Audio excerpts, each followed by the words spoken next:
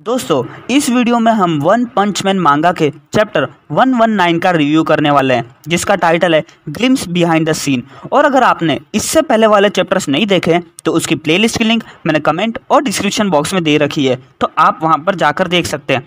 तो जैसा कि पिछले चैप्टर में हमने देखा था कि ड्राइव नाइट अपने मोड बदल कर न्यान से फाइट कर रहा होता है और न्यान उसके आर्मर में घुस जाता है। लेकिन ड्राइव नाइट अपने आर्मर का टेम्परेचर बहुत ज़्यादा बढ़ा लेता है और न्यान की बॉडी में अपनी शॉट डाल देता है। तो चलिए इस चैप्टर को स्टार्ट करते हैं। चैप्टर की स्टार्टिंग में हम ड्राइव नाइट को देखते हैं, जिसके हाथ में न्यान की बॉडी होती है। तो सेकिंगार बोलता, क्या बात है? ये हार गया? आखिरकार तुमने इसे हरा ही दिया, बल्कि ड्रैगन लेवल के मॉन्स्टर भी एस क्लास हीरो के सामने कुछ भी नहीं है। तो ड्राइव नाइट बोलता है, तुम सिचुएशन को गलत नज़रिए से देख रहे हो। ये मॉन्स्टर बहुत स्ट्रांग था।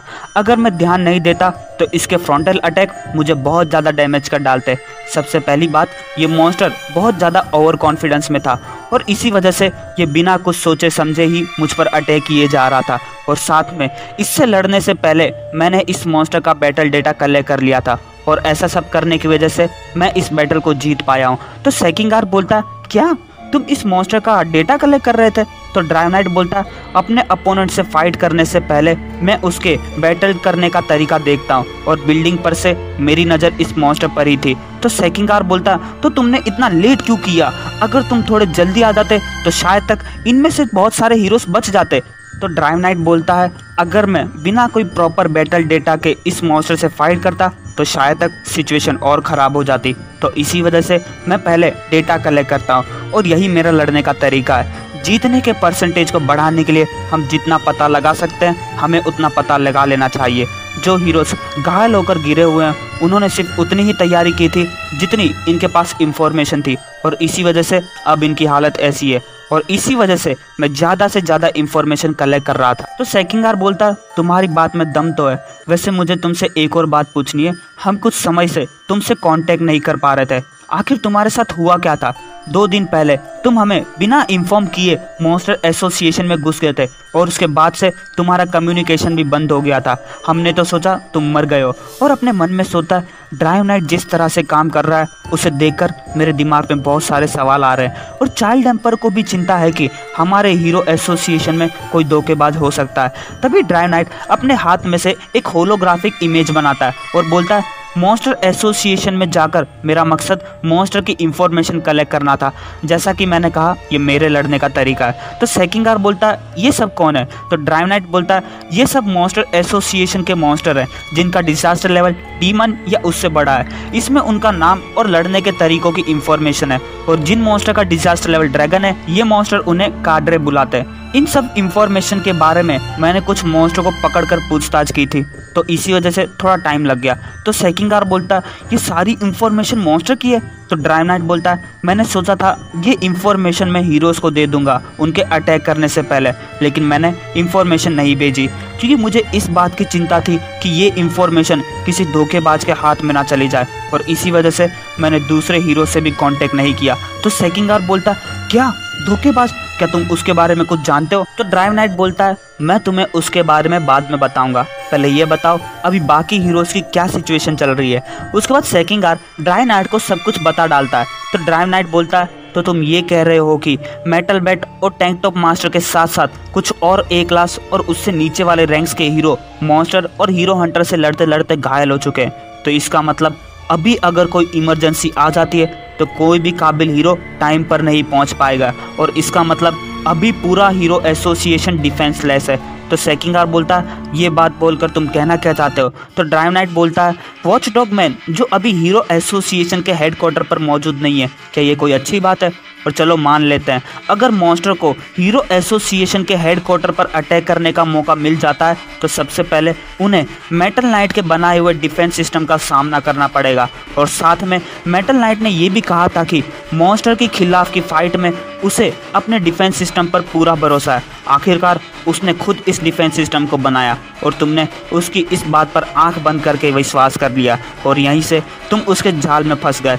तो सेकिंगार बोलता है तो तुम ये कहना चाहते हो, धोखेबाज, हमारे हीरो एसोसिएशन के हीरोज में से एक है?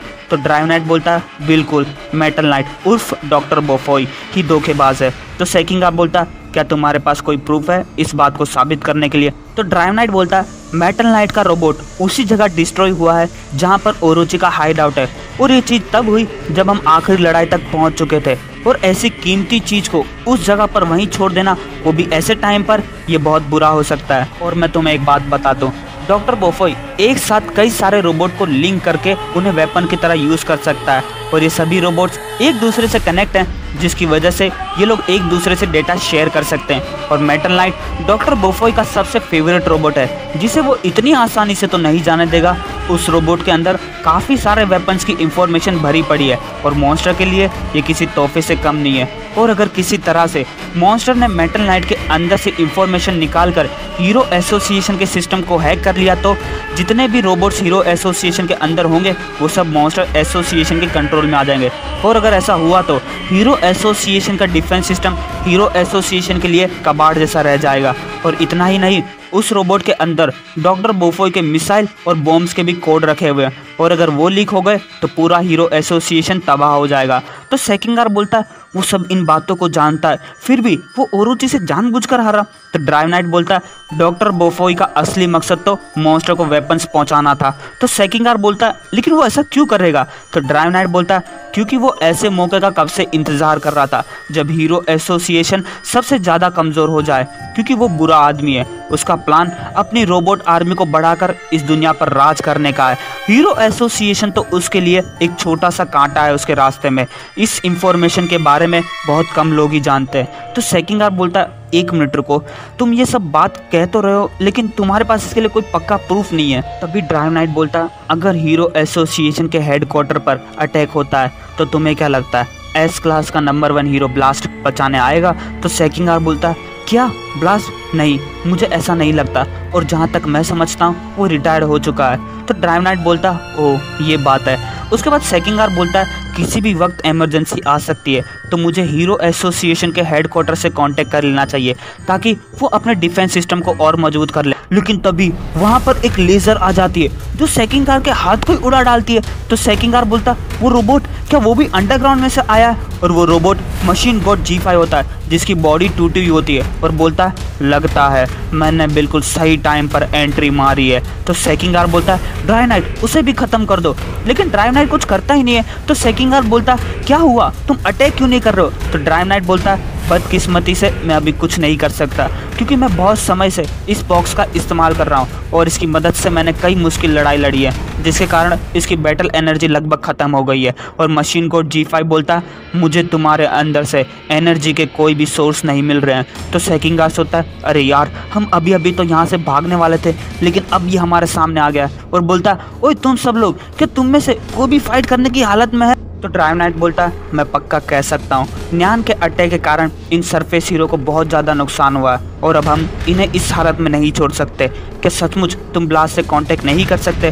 तो सेकिंगार बोलता है मैं नहीं कर सकता। सिर्फ़ कुछ सिलेक्टेड मेंबर्स ही ब्लास्ट से कांटेक्ट कर सकते हैं और मेरा कम्युनिकेशन डिवाइस भी टूट गया और सेकिंगार सोचता है, सभी लोग घायल हैं। सिर्फ़ मैं ही हूँ जो चल सकता हूँ। क्या मुझे लड़ने की कोशिश करनी चाहिए? उसके बाद मशीन गोट जी फाइव एक वीडियो को खोलता है, जिसमें फुटोशी वगानमा को लेकर भाग रहा होता है। तो मशीन गोड जी फाइव बोलता है तो हॉस्टेज भाग गया? कोई नहीं। तुम्हें ख़त्म करने के बाद मैं उसे ज़रूर पकड़ लूँगा। और सेकिंग आर बोलता है ये रोबोट पहले से ही कमज़ोर लग रहा है। क्या एग्जीक्यूटिव बीम से काम हो जाएगा? मुझे लगता है, मुझे कोशिश करनी चाहिए। तभी मशीन गॉड जी पाई के अंदर से एक और रोबोट निकलता है। और सेकिंगार सोता है अब कुछ नहीं हो सकता। और मशीन गॉड जी फाइव सेकिंगार पर अटैक कर डालता है। लेकिन तभी कोई बोलता है मैं इस एनर्जी के सिग्नेचर को जानता हूँ और तभी वहाँ पर जेनोस आ जाता है और मशीन गॉड जी फाइव पर अपनी किक से अटैक कर डालता है और मशीन गॉड जी फाइव की बॉडी पूरी दब जाती है और ये देखकर सेकिंग आर भी शौक हो जाता है। तो जेनोस बोलता है, देखने से लगता है तुमने भी अपने आप को अपग्रेड किया है, लेकिन तुम्हारे अपग्रेड से ज़्यादा मेरा अपग्रेड फास्ट है और वहाँ पर एक धमाका होता है। उसके बाद जेनोस बोलता है सिचुएशन क्या चल रही है? और ड्राइनाइट जेनोस को देखता है। तो दोस्तों, ये चैप्टर यहीं ख़त्म होता है। अब बात करते हैं, इस चैप्टर में हमें क्या नोटिस करनी चाहिए। दोस्तों, पहली बात ड्राई नाइट जितनी आसानी से बता रहा है कि उसने ये सब इंफॉर्मेशन मॉन्स्टर एसोसिएशन के अंदर घुस के लिए, ये इतना आसान लग नहीं रहा। क्योंकि इन बातों से एक डाउट जा रहा है। मेरा मतलब गिरो गिरो के पास ऐसी पावर है, जिससे अगर मॉन्स्टर एसोसिएशन में कोई भी घुस जाए तो गिरो गिरो को तुरंत पता चल जाता है। तो ड्राइव नाइट के बारे में कैसे नहीं पता चला? इसका मतलब ड्राइव नाइट भी कुछ तो झूठ बोल रहा है। और दोस्तों मेटल नाइट के जो रोबोट है ना, वो कुछ कम नहीं है। मतलब मैंने एक आर्टिकल में पढ़ा था कि मेटल नाइट का जो एक रोबोट है ना, उसने ज़िंदा ड्रैगन लेवल के मॉन्स्टर को पकड़ा था। इसका मतलब वो रोबोट कुछ कमज़ोर नहीं है। तो दोस्तों, ये वीडियो यहीं खत्म होती है। उम्मीद करता हूँ, आपको वीडियो पसंद आया। और अगर वीडियो पसंद आया तो प्लीज़ वीडियो पर कमेंट करना और चैनल को सब्सक्राइब करना। और हो सके तो यार, देखो यार वीडियो को प्लीज़ यार प्लीज़ शेयर करना। तो मिलते हैं आपसे अगले वीडियो में। तब तक के लिए मज़े करो। और वीडियो देखने के लिए शुक्रिया।